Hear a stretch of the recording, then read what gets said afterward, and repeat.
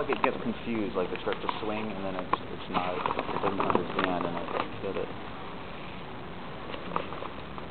Maybe you need to stick the six axis gyro or something like that. I don't know, I'll show you over that. Yeah, that could be.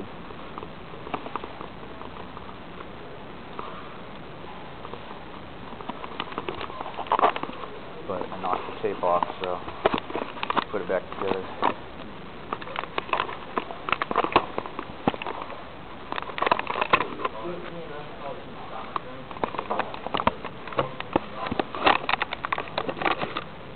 Have one of these, right? Yeah. Yeah. Yeah, I, I, you were, you were flying.